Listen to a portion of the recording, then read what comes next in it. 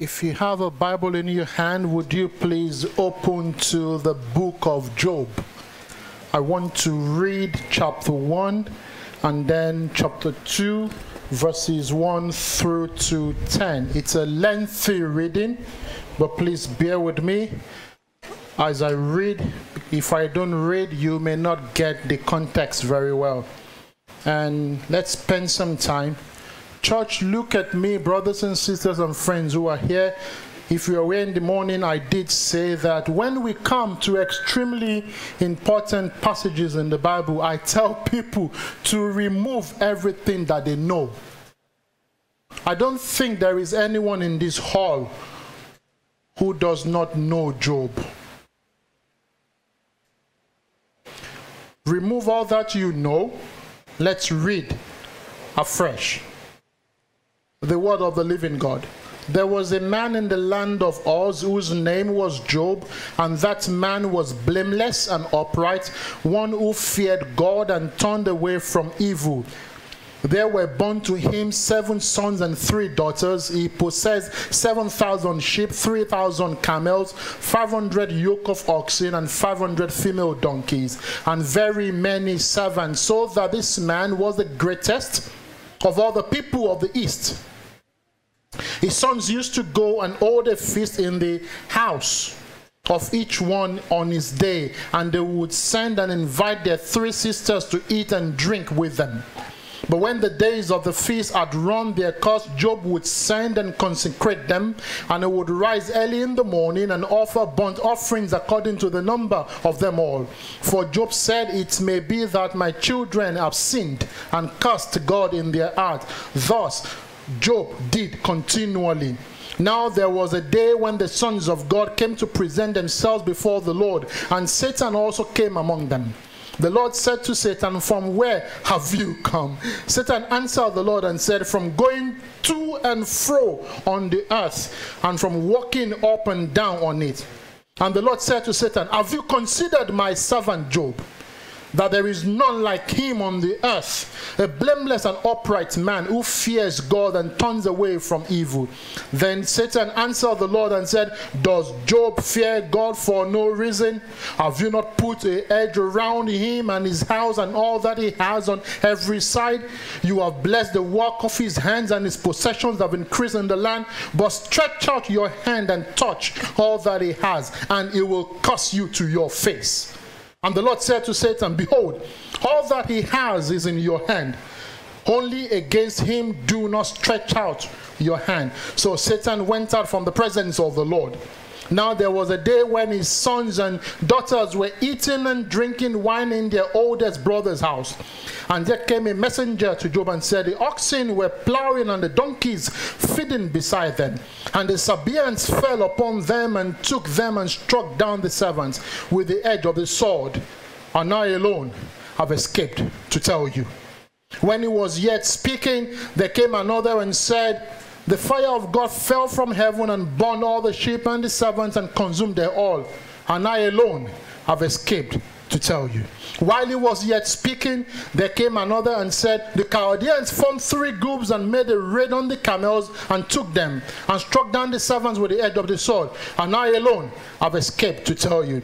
And while he was yet speaking, there came another and said, Your sons and daughters were eating and drinking wine in their oldest brother's house. And behold, a great wind came across the wilderness and struck the four corners of the house. Hmm and it fell upon the young people, and they are dead. And I alone have escaped to tell you. Then Job arose and tore his robe and shaved his head and fell on the ground and worshipped. And he said, Naked I came from my mother's womb, and naked shall I return. The Lord gave, and the Lord has taken away. Blessed be the name of the Lord in all this, Job did not sin or charge God with wrong. Again, there was a day when the sons of God came to present themselves before the Lord, and Satan also came among them to present himself before the Lord. And the Lord said to Satan, From where have you come? Satan answered the Lord, From going to and fro on the earth, and from walking up and down on it. And the Lord said to Satan, Have you considered my servant Job? That there is none like him on the earth, a blameless and upright man who fears God and turns away from evil. He still holds fast his integrity, although you incited me against him to destroy him without reason. Then Satan answered the Lord and said, Skin for skin. All that a man has, he would give for his life. But stretch out your hand and touch his bone and his flesh, and I will curse you to your face. And the Lord said to Satan, Behold, he is in your hand, only spare his life. So Satan went out from the presence of the Lord and struck Job with loathsome sores from the sole of his foot to the crown of his head. And he took a piece of broken pottery with which to scrape himself where he sat in the ashes. Then his wife said to him, Do you still hold fast your integrity? Curse God and die. But he said to her, You speak as one of the foolish women would speak. Shall we receive good from God? And shall we not receive evil? In all of this, Job did not sin with his lips. Amen. Psalm 121 is a song. I will lift up my eyes to the hills from whence cometh my help. My help cometh from the Lord, the Lord who's made heaven and earth, and he will not suffer thy foot, thy foot to be moved. The Lord which keepeth thee, he will not slumber nor sleep, for the Lord is thy keeper, the Lord is thy shade. I'm struggling now. upon thy right hand. For the sun shall not smite thee by day. Yes, Lord. Church, please sing, please sing.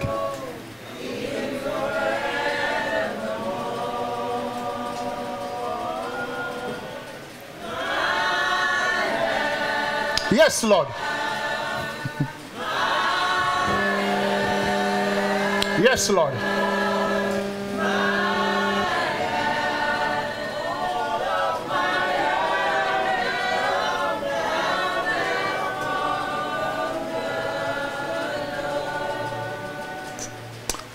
My help, my help, my help, all of my help cometh from the Lord. By the time I'm through with this sermon, will you be able to sing that song again? What is the worst storm you've been through? What is the worst Tom? What are you presently passing through now? What are you passing through now? When the storms of life stares at you right in the face, storms that they are like sinking mud with no escape.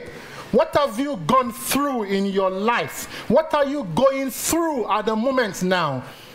Let me help you, church. Debilitating illnesses, life changing accident, trauma, economic hardship, loss of job and livelihood, poverty, injustice, ongoing and recurring sin, grief, crime, pastoral loneliness. Come and ask pastors in London. Pastoral loneliness. The local church is not growing. Death. Your father and mother are dead. Your children are dead how are you coping? How are you going to cope?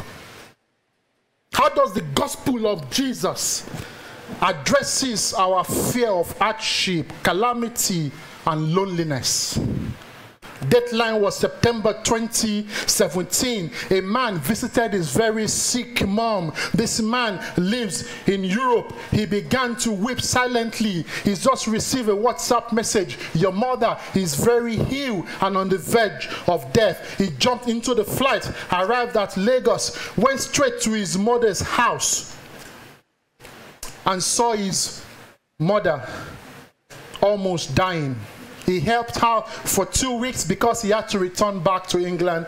He went back to England. The mother was still very, very sick. He did all he could to make sure that his mother lived well. Then on Sunday, 29th of April 2018, at about 6 p.m., this brother has just finished preaching the eschatology of the day of the Lord. When a WhatsApp message came on his phone, Your mother is dead. He jumped on the next flight to Nigeria and went straight to the mortuary where his mother was on the gunny. He saw his mother's body on the gunny, lifeless. He touched her head, stone cold. He muttered to himself, Oh, mom, oh, mom, you are gone.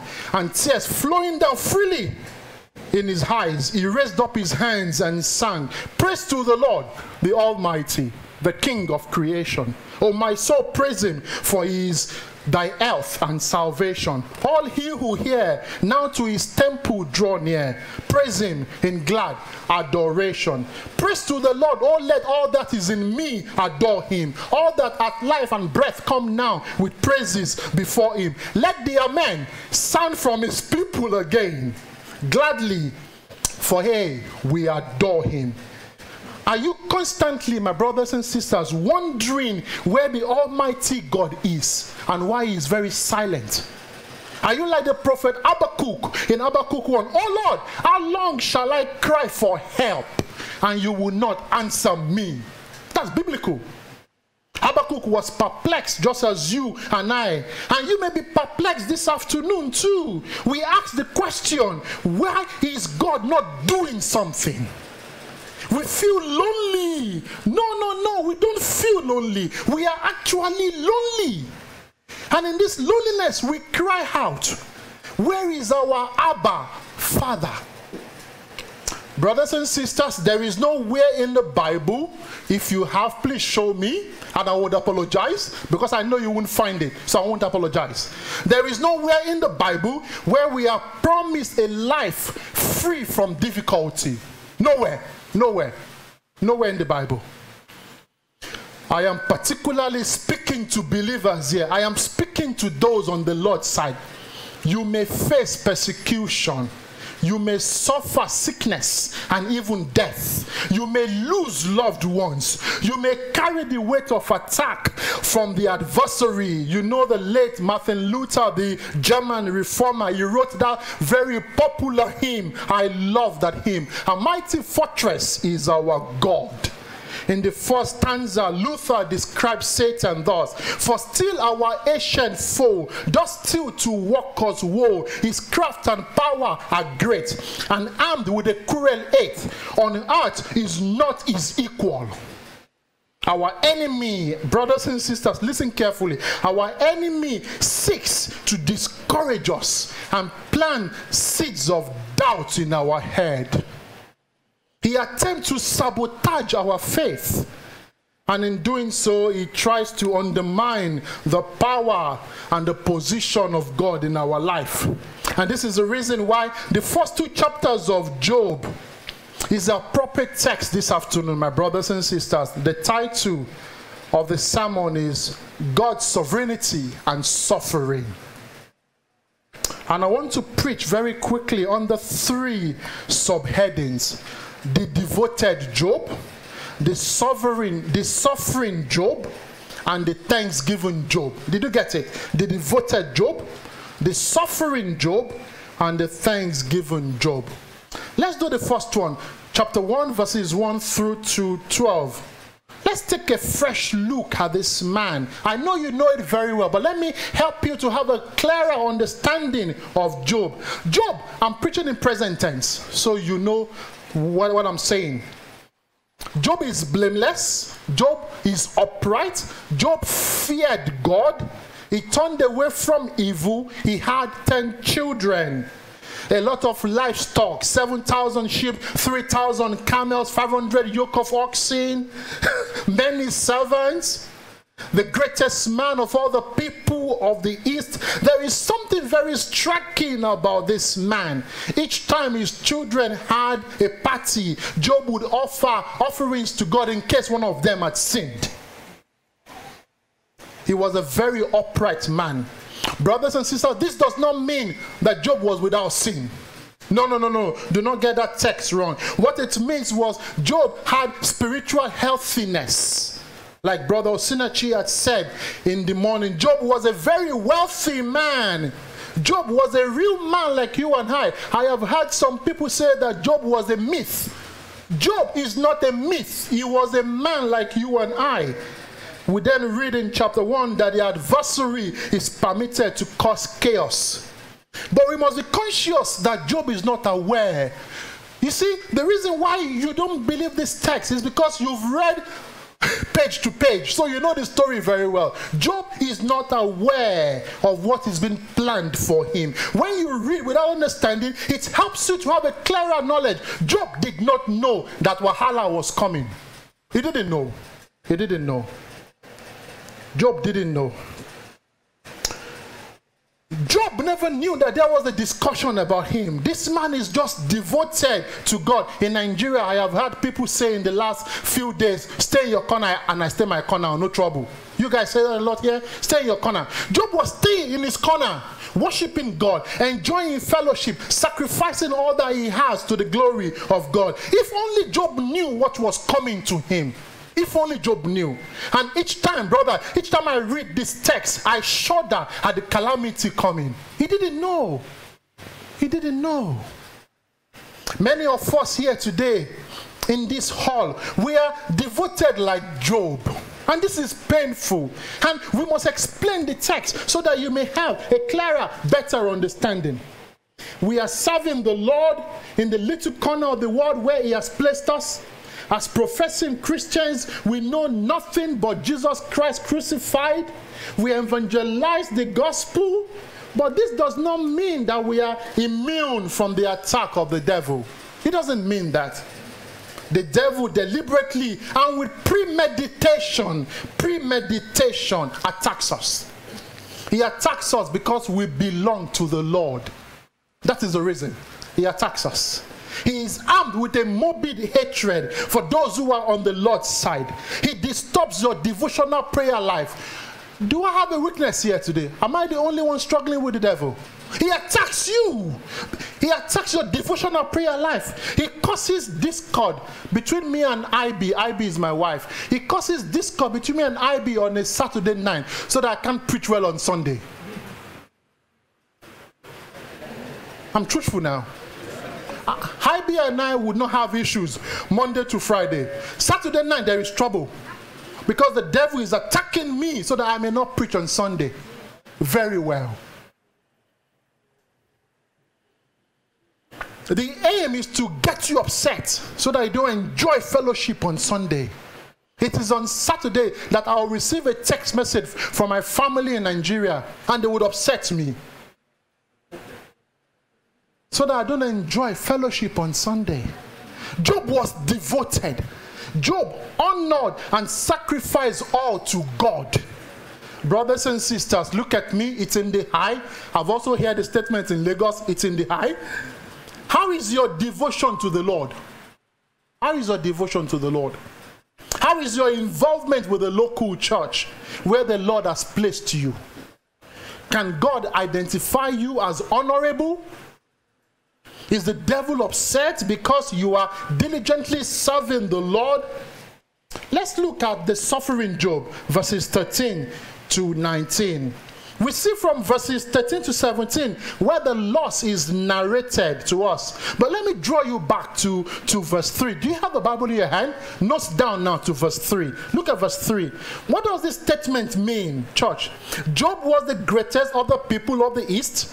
He was blameless and upright, one who feared God and turned away from evil. One who feared God and turned away from evil. What does this mean, church? What does this mean? Job was a God fearing man, and his business dealings would have been par excellence. Church, listen carefully, and my friends and brothers. If Job was blameless, because if you don't do the text very well, I will not be able to help you to understand what is suffering. If Job was blameless, it can only mean one fact. One fact that you can never lay, Brother Sinachi, a claim of dishonesty against him. Never. Never, never, never. If Job was blameless, you cannot call EFCC for him. Never. If Job was blameless, you cannot take him to court for fraudulent dealing. If Job was blameless, Olokpa no go knock his door. Never. He was he was an upright man. Upright man. If Job was, was blameless, he would not have issues with inland revenue. What do you call it here? Federal inland revenue. You will never have issues with him for tax evasion. The Punch newspaper, I love the Punch newspaper. The Punch newspaper cannot publish a front page editorial about him for using tax avoidance scheme. The question is, how did Job receive the news of his loss? How did he? Because when you read this text, you don't say he lost that, he lost that, he lost that. Let's move on. Please don't move on. Don't move on. Read the text very well. We must allow the Bible to breathe so that you can have a better understanding. Church, listen very carefully. 500 yoke of oxen, right? The first servant rushed to him and told him that 500 female donkeys. Job would have said, Bad credit, I will replace them next year. Yeah? Bad debt. Let's go. I still have 7,000 sheep and 3,000 camels. Okay. Let it be. We will do better next year. Leave it. Bad loss. I will ask the accountant to do the books and we move on. Next year will be better. As I read this afresh, I screamed, No, no, Job, no, Job. If only you know what's coming to you. You see, Job did not know. Job did not know. We also do not know, my friends. Look at me, please. I'm begging you. I know it's hot. You've had lunch. Please don't sleep. Listen carefully. I'm struggling with this text now. I'm struggling. We also do not know when calamity is coming. We don't know. We don't know. We don't know, but God knows. Brother Eliza has helped us.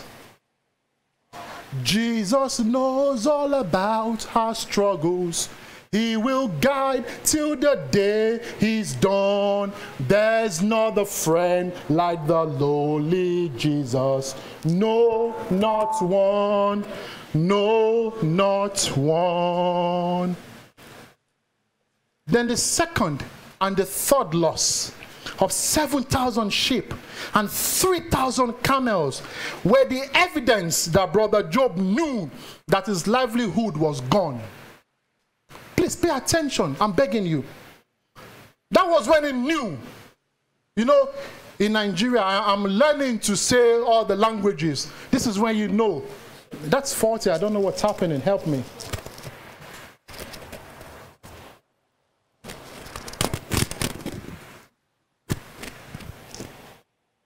Ah, thank you. I've been praying to God for help. Amen. I was struggling. Then the second and the third loss of 7,000 sheep and 3,000 camels were the evidence that his livelihood was gone.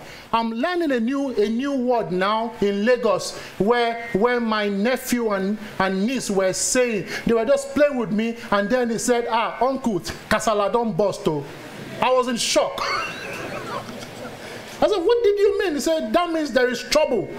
Said, Kasala. I said, What's Kasala? I said, K A S A L. He said, Kasala, don't bust, uncle. Bust. Kasala just busted for Job here. Big time. Big time. The wealth that made him the greatest man on earth is now gone. You read that text wrong then you will go home struggling this afternoon. The wealth that made him the greatest man is now gone. Let me amplify this in 2021. Listen carefully. With our global technology, the news of his calamity would have been broken on Twitter. I've just seen that Twitter is not working in Nigeria. Would have been broken on Twitter. Millions would have retweeted it. Photographs would have been posted on Facebook and Instagram. The most wealthy man on earth has lost everything. News helicopters would have been hovering over Job's residence. Job did not only lose material wealth, he lost his children. He lost his children. Brothers and sisters, please look at me. Look at me. Look at me. Look at me. What's worse than that? Oh, Pastor Peter, what's worse than that? He lost 10 children. He lost 10 children. To lose a child is a big thing. My first child died on the eighth day, and I buried her on the eighth day. The Lord gave us strength, but I know the implication when you lose a child.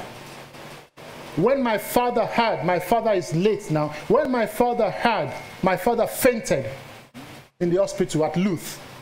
But God gave us strength. My mother held my hand and said, Go and do another one straight.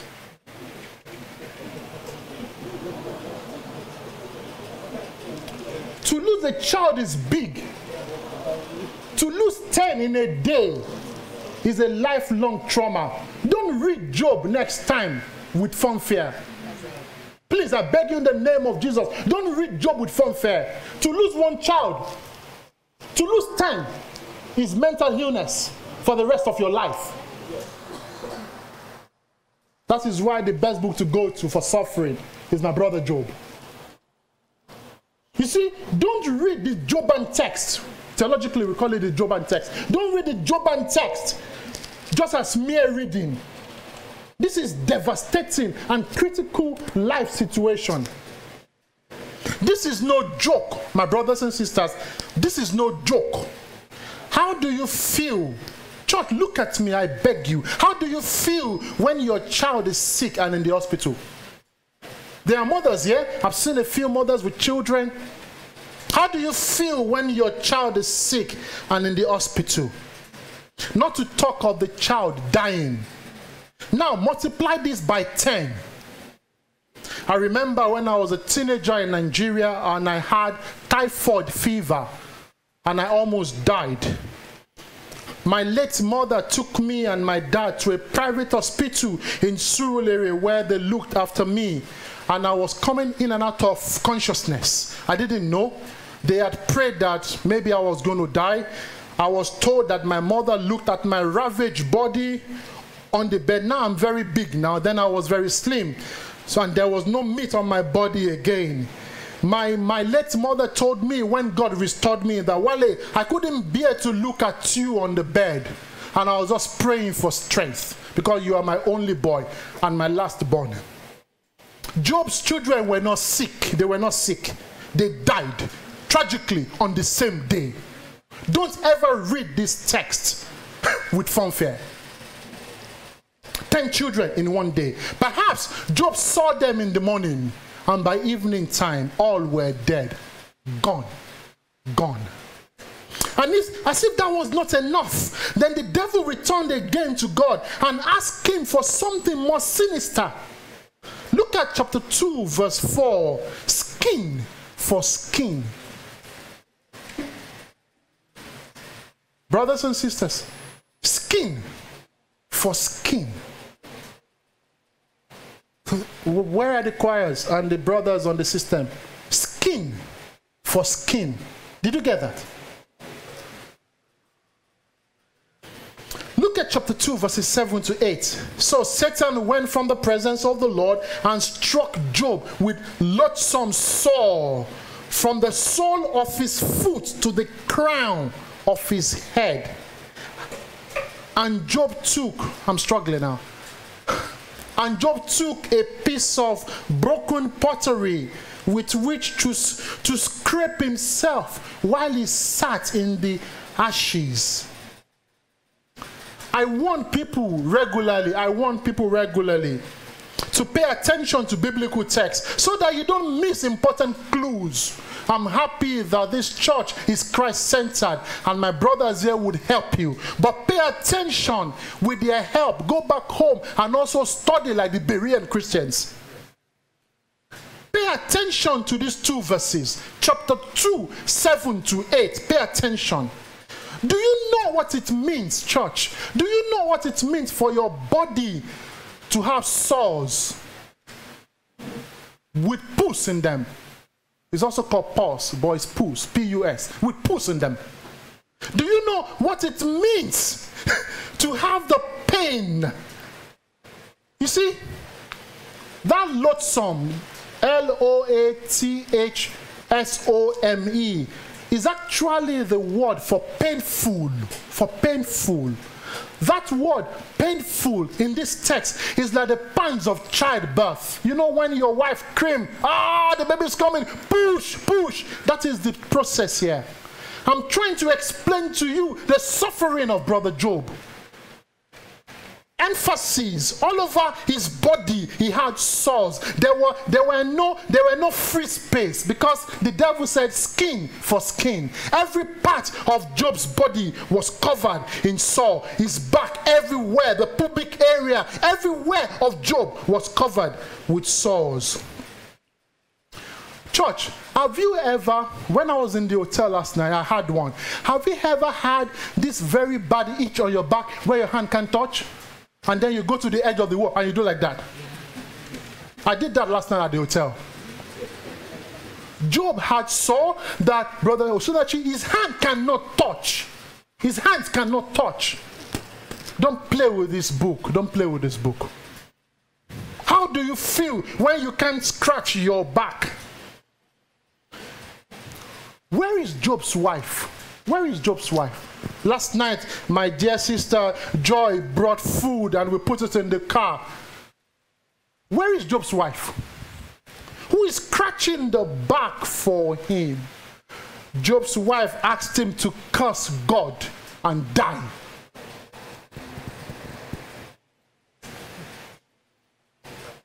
This, the wife couldn't help with the calamity. She couldn't cope. She is exhausted. So Job is now walking alone. And that is how we've always read the text. Thinking that Job lost everything. This is what the devil always wants you to think that there is no longer hope for your situation. I will help you now. Watch me. Job lost everything, including his children. But God spared his life and four servants. Four servants. There is always one person to come and report. Okay? All of them don't die. Oh. Now only me remain. Yeah? Four people. Four people. Don't forget the four servants. Don't forget them.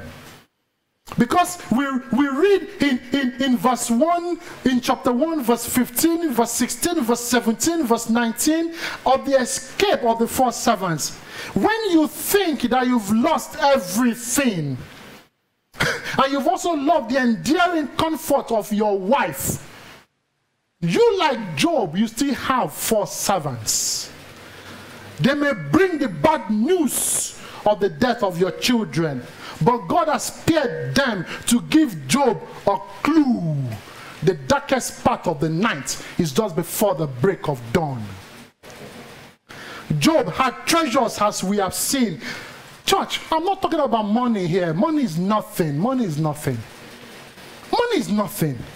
To those who are on the Lord's side, to those who truly believe in Jesus Christ, money is nothing. I'm not talking about money here. No, no, no, church. No, no, no. I'm talking about the peace of God that passes all understanding. Church, do you get that? The peace of God that passes all understanding.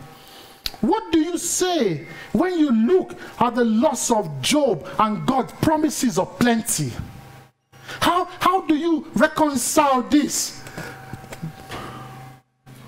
Brother Eliza, Please look at me. That Job lost everything in the sovereign will of God. that you've taught us in the morning. That Job lost everything in the sovereign will of God. God, in His own word, gives a good profile of Job in Job 1, verse 8. Have you considered my servant Job? That there is none like him on the earth, a blameless and upright man who fears God and turns away from evil. Therefore, look at me, church. Therefore, the, the ability to have possessions, the ability to have possessions and to enjoy them is a gift from God. Please pay attention. The ability to have possessions and to enjoy the possessions is a gift from God. When God grants you the possessions, the worship goes to Him who is the giver and not the gift. You see, my, my boys, they have an understanding when we sit our, at our dining table that the jollof rice in front of them is not prepared by their mom, it's prepared by God. That is how we've trained them. That the Lord has given mommy the ability to make jollof rice and fry dodo and put chicken in it. And the jollof rice may cease at any time.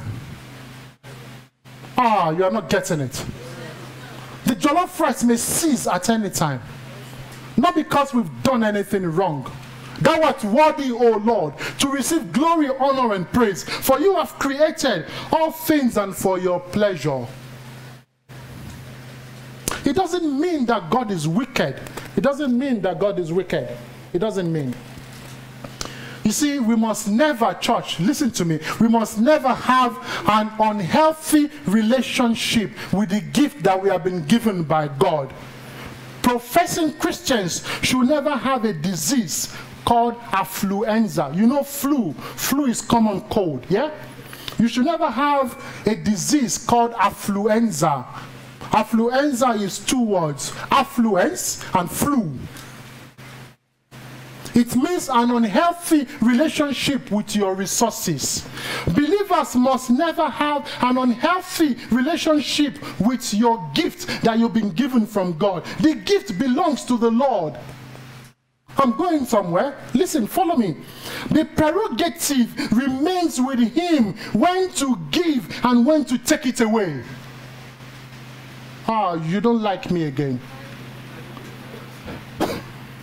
The prerogative remains with him, and God is sovereign over suffering. God is above all things. God created all things. God sustains all things. Many of us, many of us believers, we are we are easily easily distracted when things go wrong. Easily distracted. And we sometimes shift our focus from God to the gift. We sometimes forget that God has granted the gift. God demands your eye allegiance even in your suffering. God, God, God demands your worship even in suffering. He demands your worship even in suffering. Nothing should, should be more important than the gospel of Jesus Christ. Nothing. Nothing should be more important than the gospel of Jesus Christ. And finally, we come to the last of Eden, the thanksgiving Job. Chapter 1, 20 to 22, and towards the end. This is where I'm going to spend a considerable time. Please, for, please allow me. In Job chapter 1, verse 20, we read the physical display of this thanksgiving when Job fell to the ground and worshipped God. Church, let me help you, brothers and sisters. Then Job arose and tore his robe and shaved his head and fell to the ground and worshipped God. He fell to the ground and worshiped God. Church, look at me. How do you respond when trouble befalls you? How do you respond? How do you respond in the midst of a storm? I'm speaking to believers here. How do you respond? A, a, few months ago in the UK, I preached a sermon from Mark chapter 4, 35 to 31, titled Peace Be Still. And I had three subheadings. In verses 35 to 36, I preached peace before the storm. In verses 37 to 38, I preach peace during the storm. In verses 39 to 41, I preach peace after the storm. I know it is very hard, my brothers and sisters. We never want to be troubled, but sometimes the boat of your life will be rocked. The boat may look like it's going to sink. The damage as a result of the bone rocking may be permanent in your life. Let us now look at how Job responded when it was when he was informed that his children are, are dead. All his children gone. Job stood up. He tore his robe, shaved his head, fell to the ground, and worshiped God. This is what Job said, Naked I come from my mother's womb, and naked shall I return. The Lord gave, and the Lord has taken away. Blessed be the name of the Lord. These are strong sentences. We must never gloss over them. I need to explain it to you and explain it very well so that I don't do a disservice to the gospel here this afternoon. Let me fillet the phrases. You know, you know, I don't know if you guys have it here. When we buy fish from the fishmonger, they fillet it for you and remove the bone so that you can have it whole without your bone. When you take a carving knife and you fillet your, your tilapia fish, I want to fillet that text now so that you can get an understanding when suffering comes to you. Job rose up. He tore his robe shaved his head. These are the traditional practices in ancient Near East. Mourning is biblical. When my mother died, you know the story that I shared at the beginning? I am the boy in that text. Mourning is biblical. But the part that we need is the worship. Is the worship. Job worshipped God. Brothers and sisters, listen very carefully. It is not easy to worship God in the face of debilitating illnesses. You are looking for money to pay hospital bill. I know. I'm practical now. I know. I know. Job worship God. It is not easy to worship God in the face of trials and challenges and persecution and prolonged trauma. I know, I know, I know, I know. I am not insensitive. I know. It is not easy to worship God in the face of a cruel edge from Satan. I know. But as believers, we take our cue from Brother Job. The initial response of Job is powerful. And this is what I want to teach you this afternoon. Our initial responses to trials, challenges, and persecution, they matter a lot. They are the fulcrum and the background on which you will stand when the matter is prolonged for a lengthy time. Only God can help us. Only God. Only God. And this is the reason why we must never have an unhealthy relationship with God's gift to us. You see, you see, the Lord, the Lord has helped me, and I'm praying that the Lord may help you too. The Lord has helped me to see my wife as a gift from the Lord. I see my children as gift from the Lord. So if it pleases God to take my children and wife, and I don't meet them when I go back to Europe, I don't care. I don't care. I don't care. I will continue to worship Him and worship Him. I would mourn them. I would mourn their losses.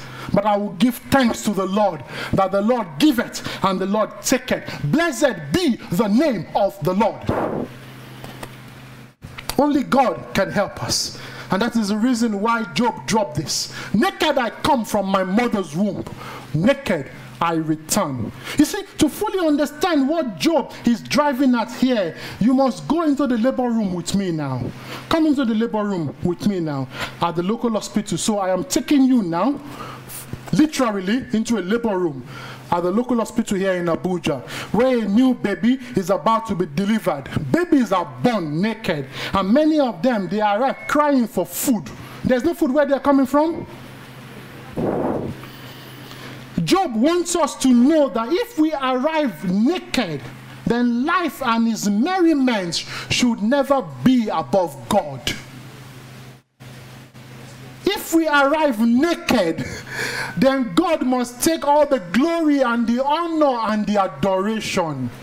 If we arrive naked, then life itself is a gift to you from God.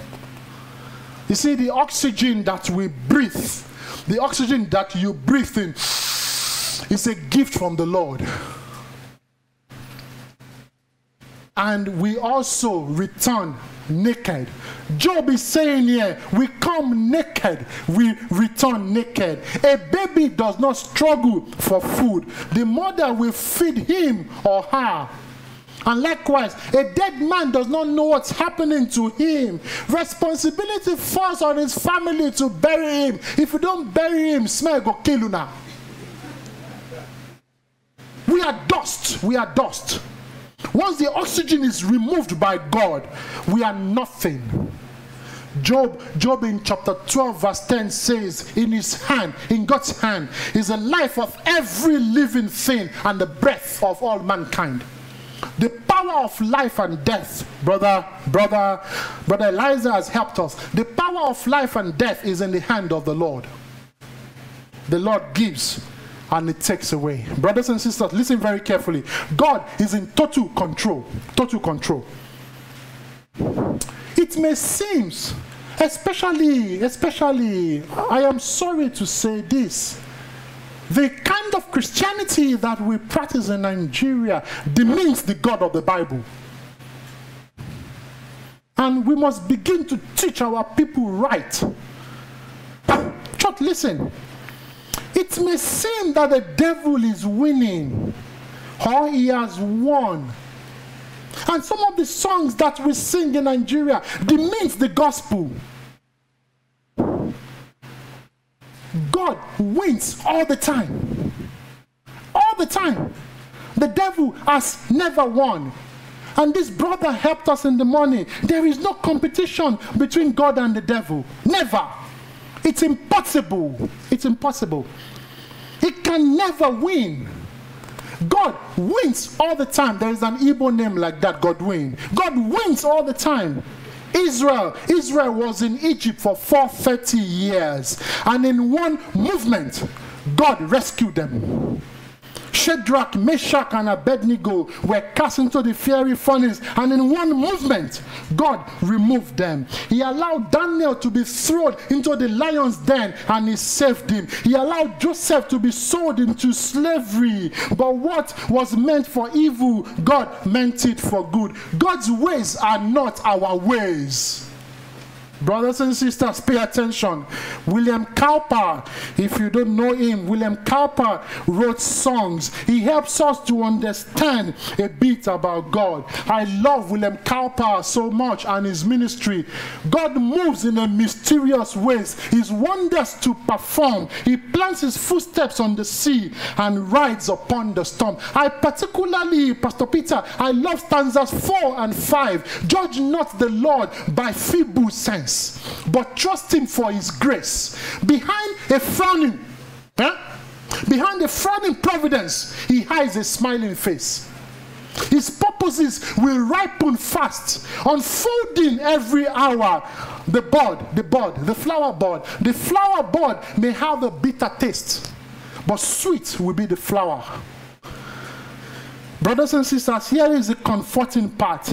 We must always look at the bigger picture. Look at the bigger picture of God's redemption plan. Jesus Christ has come to save us from the clutches of sin and death and hell. From heaven, He came and sought us to be His holy bride. With His own blood, He bought us, and for our life, He died. In redemptive history and in the context of Job, God is walking behind the scene, He is working behind this thing. He is working behind the scene. It seems as if God is powerless. But in the grand scheme of things, we see what God has done. He has given us Jesus Christ. When we think that all hope is lost, Jesus Christ came into our world and grant us salvation. No matter what the devil may do to us, we are free from condemnation. In our challenges, we look up to Christ, the author and the perfecter of our faith. We look unto Him for help. Jesus Christ told his disciples in context and also in wider application in John 16 33. When you get home tonight, open your Bible to John 16 33. In this world, you will have tribulation, but take heart, for I have overcome the world. If you know your Bible very well, the next chapter, Jesus did a priestly prayer. What else do you want? What else do you want? Brothers and sisters, how does, how does this sermon help you as you return to work on Monday? How does this sermon help you as you go back to school on Monday? How does this sermon help you as you stay at home as a wife or as a husband? How does this sermon help you as you are doing your NYSC or you are just walking in Abuja? How are you helped by this sermon? Do you have a stressful situation in your life? Do you? I was sharing with Brother Sinachi in the morning about a stressful situation in my extended family. Because whatever affects my extended family affects me. The Almighty God knows. He has given us His assurance through His Word. He has given us the Bible. The problem is that we don't read the Bible. We wait on Pastor Abutu to help us on Sunday. Yes, that's part of his job. But your own job is to go back home and read that which you have been taught. It is the perfect and complete book to us.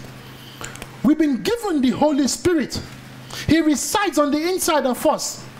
Draw nearer to God in the reading of your Bible. Satan is very intense. Church, please look at me. I have a few minutes left, maybe about 10 minutes, and we will close now. Satan, Satan is very intense in his assault because he knows that he's not going to win. Ah, I am helping you now. Satan knows he can't win God. So what does he do? He gets you drained with the worries of life so that you may distrust God. Brothers and sisters, I speak to you now amid the wreckage of this sinful, crumbling world, that our total confidence and hope is in the Lord Jesus Christ. Our faith is grounded in Jesus Christ's love for us. And because of this, we remain unshaken by the assault of this world. Let everything fail. Let everything fail. Jesus Christ stands sure and grounded in the Christian life. Let everything fail. Jesus Christ stands sure. You see, the late Dr. Martyn Lloyd-Jones once said, professing Christians, listen carefully, quote, professing Christians are generally at their best when they are in the furnace of affliction. You get better when you suffer as a Christian. Ah. You see, church, look at me, please. We have many tunnels in the UK, many tunnels for trains. When a train goes into a tunnel, when you travel from Calais to France, when you travel, sorry, from Dover to, to, to Calais, it's on the underground. So you are going on the underground, on the underground of the English Channel for about 40 minutes. When you pass through a train in a dark tunnel. You have your ticket in your hand. You don't jump out of the train and throw away the ticket because you can't see your front. You sit still and trust the train driver. When you go through turbulence in the air, you don't jump out of the plane and say, Pilot, I will meet you in Abuja. You trust God in the pilot's life to help you fly the plane to Abuja. It is the same way we trust God that no matter what happens, no matter how dark the situation may be, God is right there with me. God may give us a total silence. He may not even respond for years. Be assured that God's that God's silence is not a sign for weakness. He is the Almighty God. I want to beg you this afternoon to trust Him and trust Him and trust Him. We pray constantly, church. We pray constantly. And I think Brother Eliza made allusion to that. We pray constantly that we may know the will of God. Do you know the will of God in the life of a professing Christian? 1 Thessalonians 5:18 is the will of God. Give thanks in all circumstances, for this is the will of Jesus Christ for you. And as I turn the final corner in this sermon, I point you to the suffering Jesus Christ, the good God man who has to die so that an extremely bad man like me may live. Only the man of sorrows can adequately and efficiently help us. Only the sympathizing Jesus can help us. All your sins and your sorrows, all your walking alone and your sicknesses, all your loneliness, all your struggles, all your joblessness, all your persecutions, they pale into oblivion at the pain and suffering that Jesus Christ went through. Oh, Jesus Christ walked to the cross with sorrow. They crucified him. Jesus Christ endured this and entrusted everything to the hands of the Lord the Father. Jesus Christ did not walk alone. The Father and the Holy Spirit walked with him. So when he was arrested, he handed it over to the Father. When he was slapped, to the Father. When he was nailed to the Father. When he breathed his last, he said this Father, unto thy hands I commit my spirit. Why did Jesus commit himself to the Father? He knows that God the Father is going to vindicate him. Therefore, my brothers and sisters, Jesus Christ is our righteous standard for suffering. Jesus Christ is our righteous standard for suffering. He helps us in our suffering. He helps us. Jesus Christ, with his suffering and death and resurrection, he raises the bar high for suffering. The question is is this bar too high for you? No. Jesus' is standard. Is it too big for you? No. If Jesus has not, church, listen, you can write this down. You can write this down. If Jesus has not gifted you the capacity to suffer, it will not be written in the Bible. Did you get that? If Jesus has not gifted you the capacity to suffer, it would not be written in the Bible. This is why I know that the Holy Spirit is here. Because the song I'm about to sing is a song that we have sung earlier on. And the brothers who planned the program did not know that I'll be singing this song. They didn't know. Though Satan should buffet, the trial should come. Let this blessed assurance control that Christ has regarded my helpless estate and has shed his own blood for my soul. Though Satan should buffet, though trials should come, let this blessed assurance control that Christ has regarded my helpless estate and has shed his own blood for my soul. It is well, it is well with my soul, with my soul. It is well, it is well with my soul. Do you know the meaning of the English word buffet? B U W F E T. It's a military word. That is why when you sing that song, know what you are singing. That word buffet, not buffet, buffet is the same spelling. Buffet is a military word meaning to strike violently and repeatedly. Ah, that's the meaning. The Christian race is repeated warfare. Ah, brothers, you are not getting it. Sisters, you are not getting it. The Christian race is repeated warfare. The devil will never leave you alone. He will never leave because he knows you are going to heaven. The devil wants to steal your joy of salvation, not your salvation. He can steal the salvation, but he can take away the joy temporarily. so that you are you are very gloomy, you are very unhappy, and, and you are sinking in the depression mode. I see many Christians and they've lost the joy of salvation. The Christian race is repeated warfare. The devil will never leave you alone, he will strike you violently. But we have a friend in Jesus. Frail children of dust and feeble as frail, in you do we trust nor find you to fail. Your mercies are tender, how firm to the end. Our Maker, Defender, Redeemer, and Friend. I was sharing this morning with my brother about the struggle in my own family, and I'm here today preaching to you. Life is hard, I know. Life is hard. Please forgive me.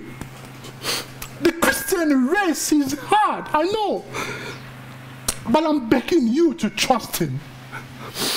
Trust Jesus. Trust Him. I'm sorry, church. I'm sorry. Trust Jesus. Trust Jesus. You are not alone. You are not alone. And this is a comfort that we have as, as believers that Psalm 120, verse 1 helps us. In my distress, I cried to the Lord, and He heard my cry. Will your hand hold in the storms of life? When the clouds unfold their wings of strife, when the strong tide lifts and the cables strain, will your anchor drift or firm remain? We have an anchor that keeps the soul steadfast and sure while the billows roll, fast into the rock which cannot move, grounded firm and deep in the Savior's love. Brothers and sisters, trust Him. Trust Him. When grief presses you hard to the dust, worship there. Worship there. You may lose everything. One day, decay will be slain by glory. One day, your faith will become sight and you will see Jesus Christ on the throne. And that thought is enough for me. I need no other argument. I need no other plea. It is enough that Jesus died and that he died for me. Brothers and sisters, the Lord will hold you strong to the end. Amen.